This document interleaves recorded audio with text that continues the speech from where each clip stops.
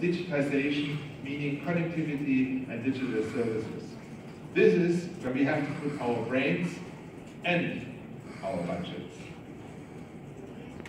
It's a full restart under operation. Ladies and gentlemen, the first for our trucks and buses any further.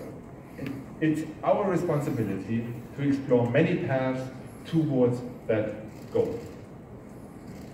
There's not the silver bullet for a solution, but many, many steps advantage.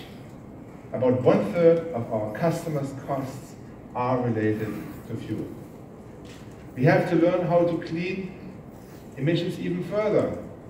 The Euro 6 diesel engines that are currently installed in commercial vehicles are extremely clean, efficient, and reliable.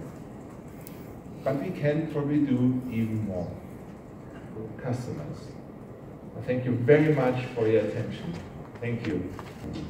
다음은 마트로버스 영업 및 마케팅 총괄 오란 뉴베르 부회장님의 스피치가 있겠습니다. Dear ladies and gentlemen, a warm welcome from my side as well. I'm very happy and proud to be here today. At MAN, we are looking back at an extremely successful year in 2018. At least, also our band exceeded all our expectations in its third year.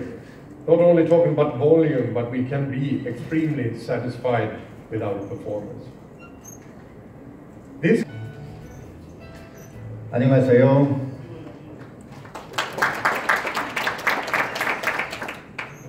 Good afternoon, ladies and gentlemen. Now you have heard from our president and board member. As of now, we have all solutions in place. We have convinced our customers, and now we are on a good way to continue the success story we have begun some years ago. And, ladies and gentlemen, we, the whole team of MAN, are giving our best every day for making life for our customers easier. We have the full support from the whole team in our headquarters. And we are so grateful and happy to have our board members here today. And thank you all for coming. Thank you very much. 감사합니다.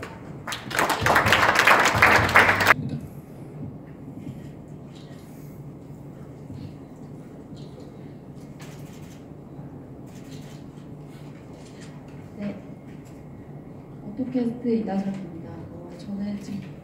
발표를 들으면서 보증 기간이 7년에 100만 킬로라고 되었는데 사실 이런 100만 킬로 되는 주행 거리를 제가 들어본 적이 없는 것 같은데 다른 제조사에도 이런 사례가 있는지 궁금하고요. 또 이러한 보증을 내놓게 된 배경이 있으면 그것도 같이 얘기해 주시면 좋을 것 같고 또 이런 7년에 100만 킬로를 내놓으면서 이 같은 조치들이 과연 소비자들을 만족시킬 수 있을 거라고 생각하시는지 궁금합니다.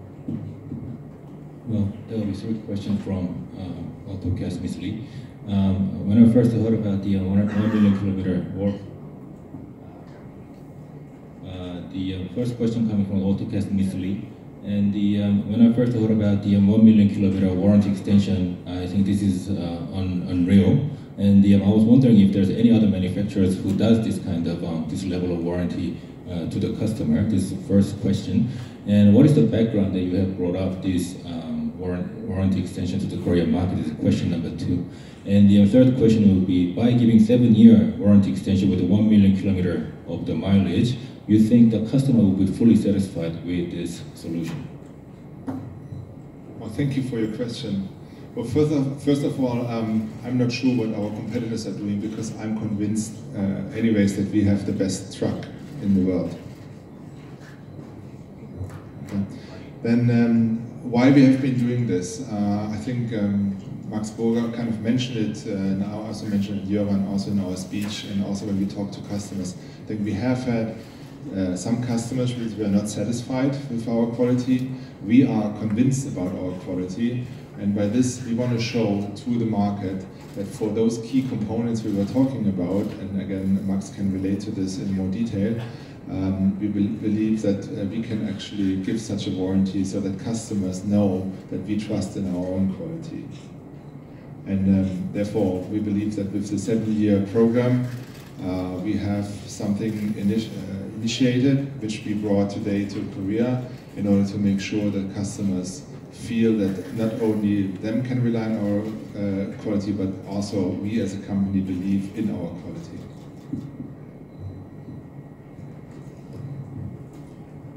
우선 답변을 드리자면은 어, 경쟁사가 어떤 워런티를 제공하고 있는지에 대해서는 어, 잘 알지를 못합니다. 그 부분에 대해서 잘 알지 못하겠고요. 하지만 한 가지 확실한 것은 저희 제품이 경쟁사보다 훨씬 더 우월하다라는 부분을 말씀드리고 싶고요. 그리고 이거는 어, 워런티를 하게 된 배경 그리고 왜 하는지에 대한 답변으로는 일부 고객분들 중에 저희의 품질이나 저희의 솔루션에 대해서 의구심을 가지고 계시는 고객분들이 계셨습니다.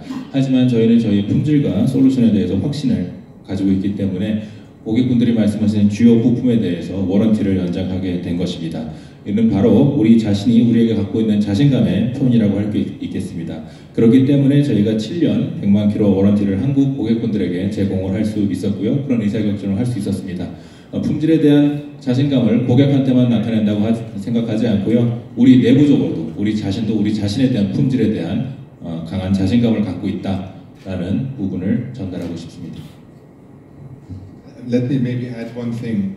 I mean, as you, as you may know, we are considered in Europe for sure as the most reliable truck manufacturer for from our customers, and we have been this for the last two or three years at least. So that is quite important to me that you already know this. 한 가지 더 첨언을 드리도록 하겠습니다.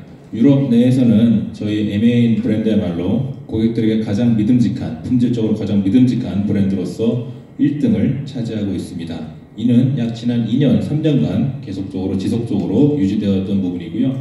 이러한 점을 여러분들께 말씀드리고 진행을 하고 싶습니다.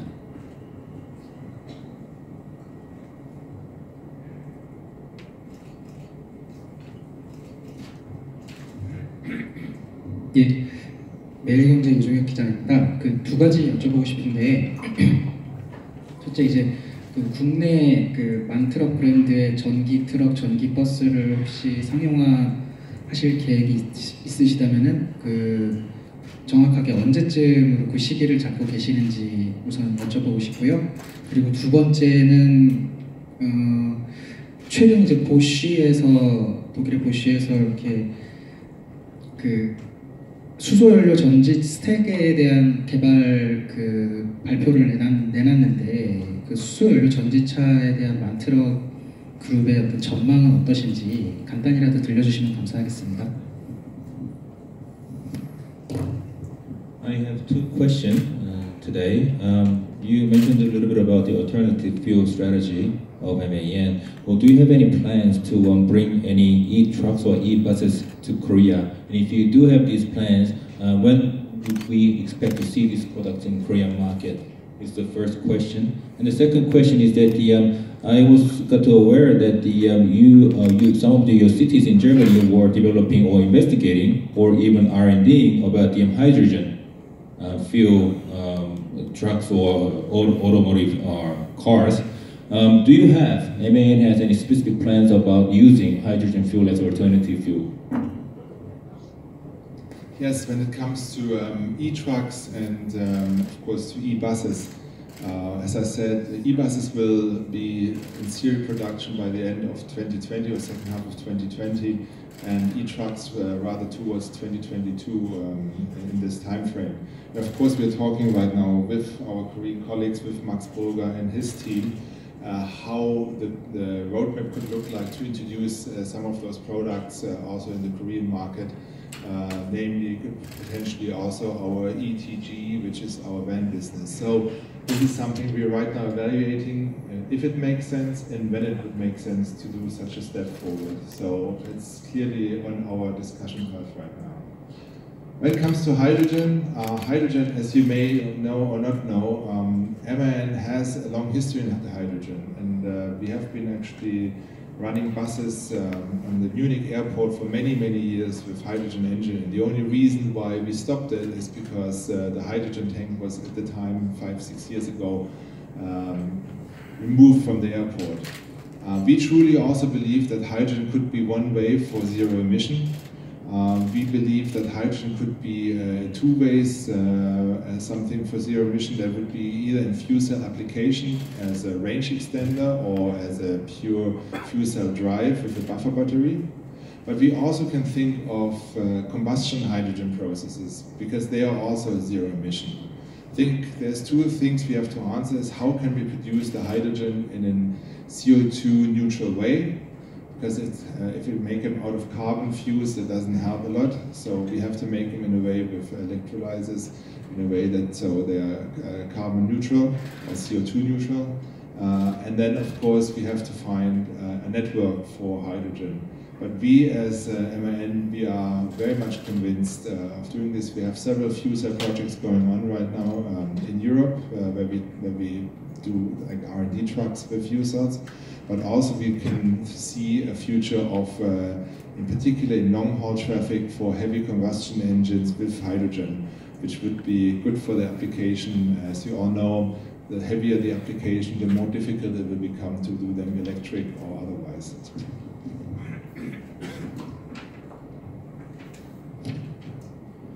어, 전기 트럭 및 전기 버스 관련해서 상당히 가시적인 상황이라고 말씀드릴 수 있겠습니다. 이미 전기 트럭 같은 경우에는 2022년도 그리고 전기 버스 같은 경우는 2020년도에 나산을 계획하고 있다라고 말씀을 드리고 싶고요. 그리고 한국에 이러한 제품을 들여올 여지가 있는지 그리고 이럴 들어올 수가 있는지에 대해서는 한국 팀과 한번 긴밀하게 소통을 해보도록 하겠습니다. 뭐 ETG 같은 경우도 한국 시장에 맞지 않을까도 한번 생각을 해봅니다. 물론 한국 시장을 평가하고 검토하고 이런 것들도 하나의 한국 시장을 공략하기 위한 주제가 될 수 있을 것 같습니다. 수소와 관련해서는 만트럭은 이미 긴 역사를 가지고 있다고 말씀드리겠습니다. 뮌헨 공장 내에서 수소로 작동하는 버스가 어, 주행 중에 있었고요. 약간 5년, 6년 주행 후에 공항에서 수소를 어, 바탕으로 하는 차량이 제거되어야 됐기 때문에 저희가 더 이상 어, 운영을 할 수가 없었습니다. 뭐 수소를 관련해서는 순수 수소로서 어, 제로 에미션을 바탕으로 한 수소를 바탕으로 저희가 어, 동력을 얻을 수 있겠고요. 하나는 내연기관과 결합한 수소도 하나의 솔루션으로 가져갈 수 있겠습니다. 어떻게 수소를 운영할지에 대해서 그리고 수소를 어떻게 어, 프로듀스 할지에 대해서는 저희가 어, 뭐, 검토를 해봐야 되겠습니다만 그 어떤 관계에서는 수소를 어, 생산하는 데 있어서 CO2가 없는 CO2 프리인 어, 청정한 방법으로 수소를 개발해야 된다는 것은 저희가 어, 생각하고 있는 방, 법이며 생각하고 있는 철학입니다. 물론 수소를 가져가게 되면 네트워크도 좀 문제가 될 수 있고 하나의 도전 과제일 수 있습니다. 물론 만트럭은 퓨얼셀과 관련된 여러 가지 프로젝트를 하고 있고요. 장거리 운송에서 내연기관과 수소를 결합한 솔루션도 어, 하나 낼 수 있을 것 같습니다.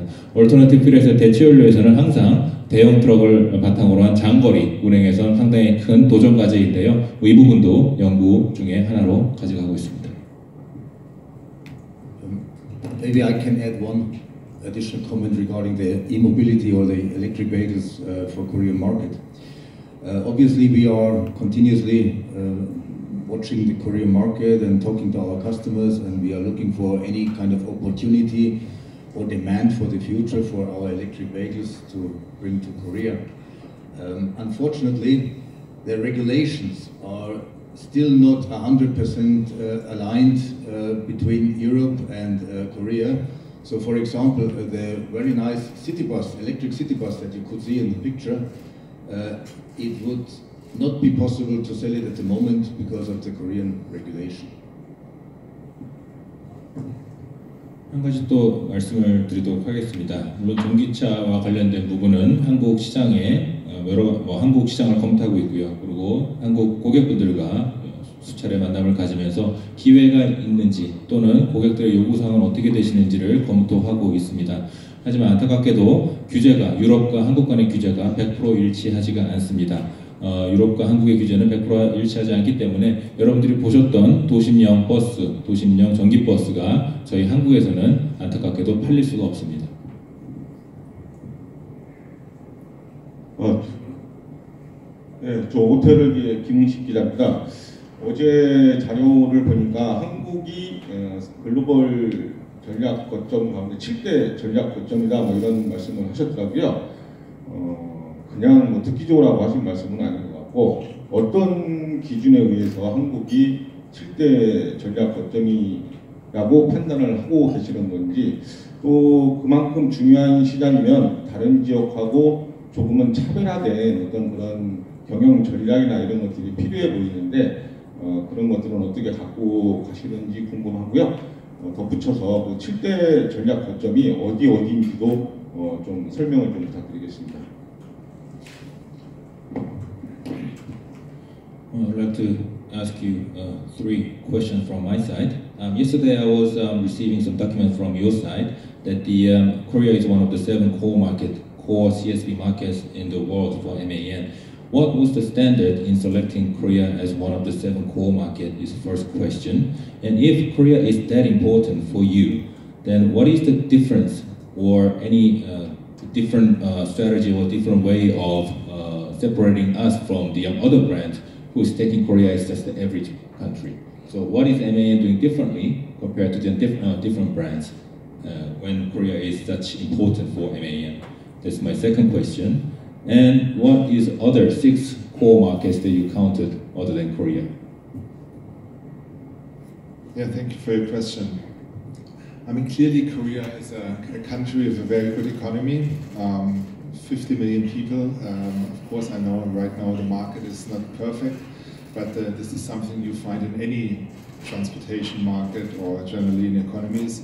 But we believe in the long-term, uh, in the long-term growth of the Korean economy, and I think this is something which is uh, rarely seen in the world. So Korea is going to be and is already one of the leading industrial nations in the world. This is number one. Number two is Korean customers are one of the most demanding, if not so, the most demanding customers in the world.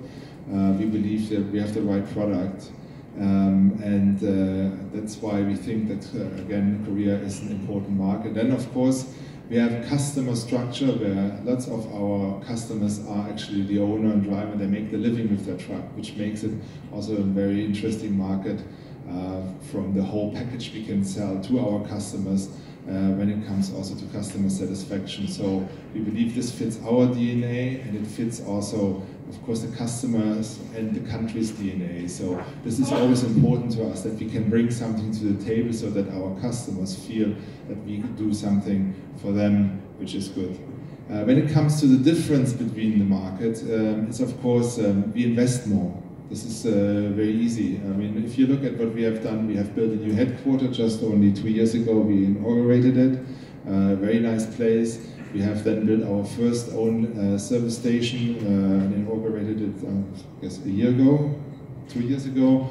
Now we just have done our second one, which is very nice. We also had our private capital dealer partners, or service partners, who built several networks and several service stations. So you can see that we're investing heavily. So we move investment when you look at our investment budgets uh, towards the Korean market. That makes that uh, different from other uh, markets. And if it comes to our other core markets, or focus markets, of course, it's Germany, it's Italy, it's Spain, it's France, it's UK, it's Poland, it's China, and it's Korea.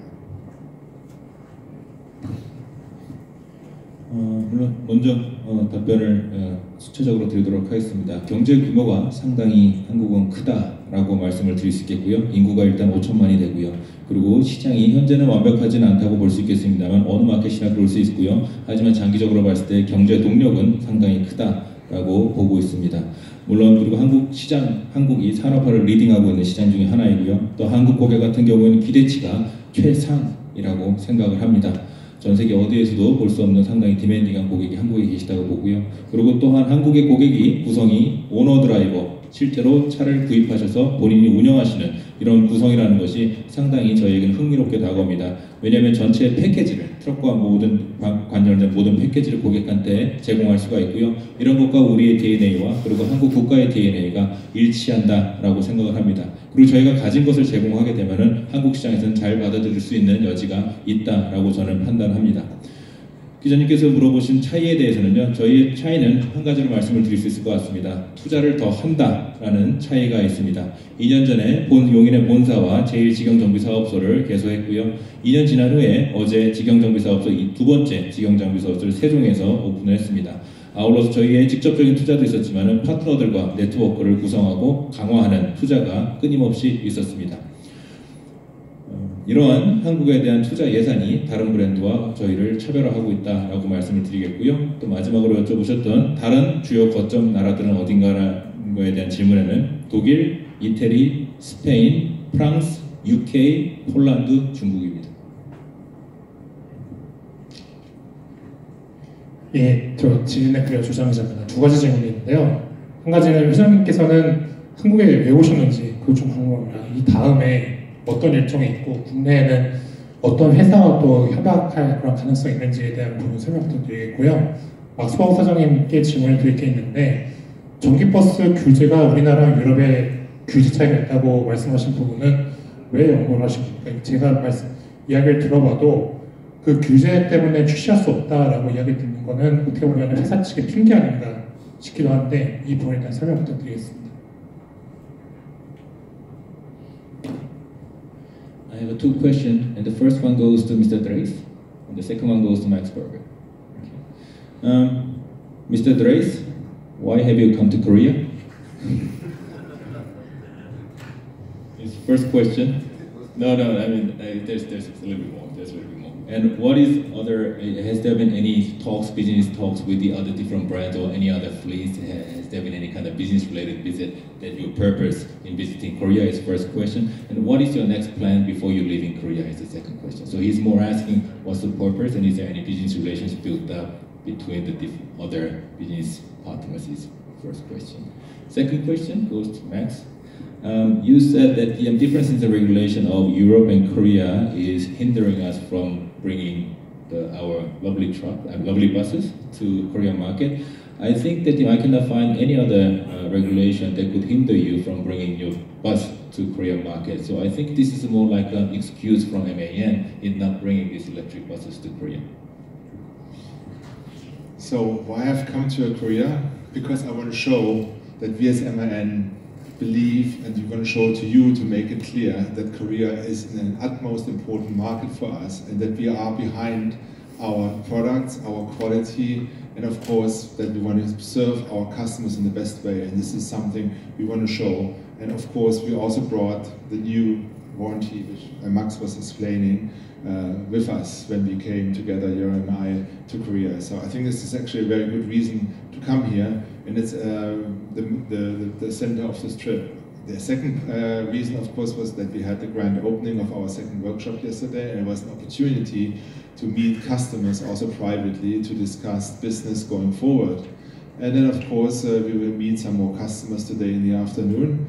But from that, I'm going back uh, to Europe. So it was a trip only to Korea and, and not anywhere else for this time and this week. 부장님 답변부터 통역을 해드리고 또 듣도록 하겠습니다. 아, 왜 어, 한국에 오게 됐냐에 대한 답변은 어, 저는 MAN이 한국에 얼마나 중요하게 여기는지에 대한 것에 대한 증명을 하기 위해 아, 왔습니다. 품질, 제품, 그리고 투자에 대한 어떤 확실한 약속을 몸소 증명하기 위해 한국을 방문했고요. 그리고 오- 여기 한국에 오면서 여러분들에게 발표드렸던 워런티에 대한 패키지를 어, 같이 함께 가지고 올 수 있었습니다. 이로써도 이미 충분한 한국을 방문할 이유가 된다고 생각을 합니다. 하지만 추가적으로 어제 2차 직영정비 사업소를 개소하면서 그 투자를 현장을 보기 위해서 왔고요. 그 현장을 보면서 고객들과의 직접적인 만남도 가지고 싶었습니다. 이후의 계획은 오늘 오후에 추가적으로 고객들과 만남을 가질 예정입니다. 그 이후에는 저는 집으로 돌아가고요. 한국만을 방문하기 위해서 이번 방문을 계획했습니다. Yeah, regarding the bus business and the regulation, uh, there are still uh, some uh, points where the regulations are not 100% harmonized between Europe and uh, Korea.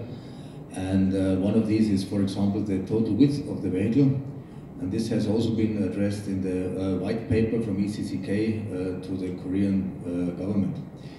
Um, we started our bus business in Korea in 2016.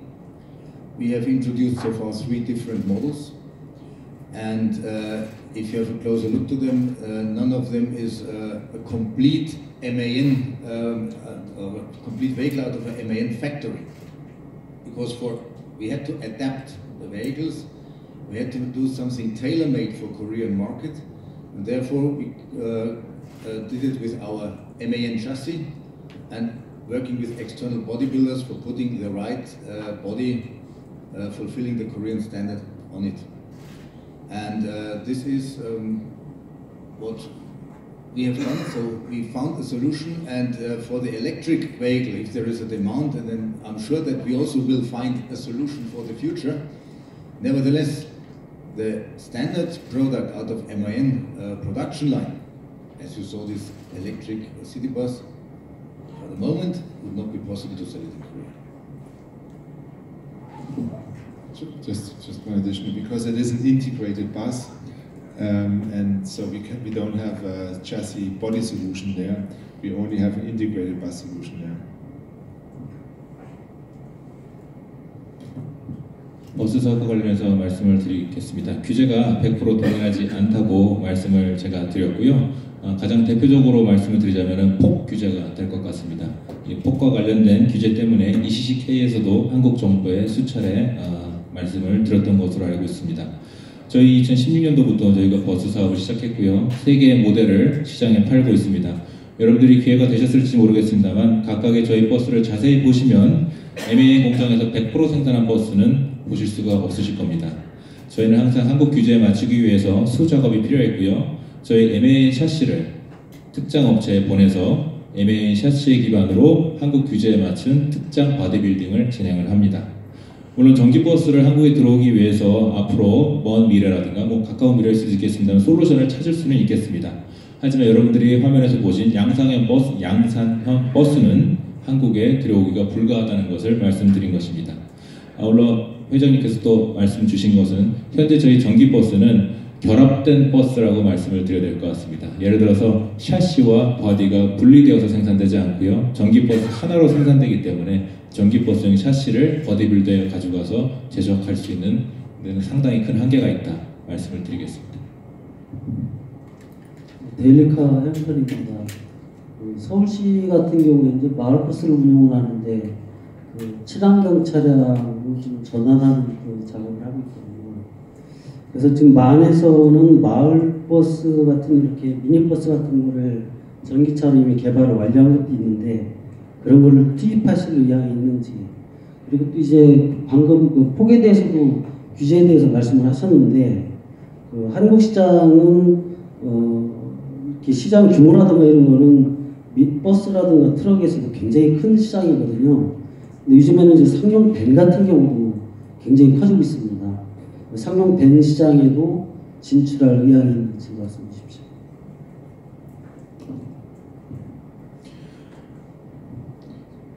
마을버스를 어떻게 번역해 드려야 될지 상당히 암담합니다. 네, 최선을 다해 보겠습니다. Uh, the um, city of Seoul is trying to um, develop the um, clean um, microbuses that rotates around the cities. Small buses with the small routes. With uh, I think maximum. We don't have that concept in Germany, but that small routes, small buses that goes around the cities. Uh, we're trying to. Uh, Seoul cities are trying to make it clean uh, for the cities.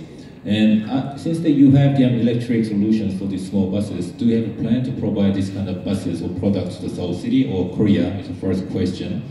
I think, well, you mentioned about the width uh, regulation of Korea. However, not only the um, bus or truck, which is a really big market in Korea in terms of uh, global uh, market sizes, uh, Korean market is also big in terms of the um, commercial vans. So, do you have any plans to bring in your vans to Korean market? Well, I will answer the first question. I would can leave it also to. I commented before. Um, as small buses, um, of course, are part of the future, I believe, um, also for a um, emission-free uh, transport of people, so that you have maybe buses with uh, 10 to 15 people also to go into neighborhoods where you don't have the high traffic.